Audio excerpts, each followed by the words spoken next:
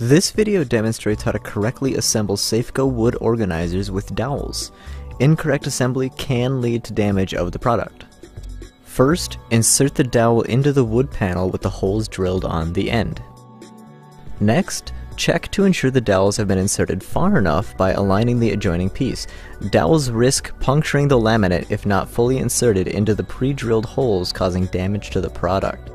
If the dowel length is good, line the panel with the dowels up to the holes in the adjoining piece and push down firmly. Rinse and repeat these steps for all Safco product pieces assembled with dowels.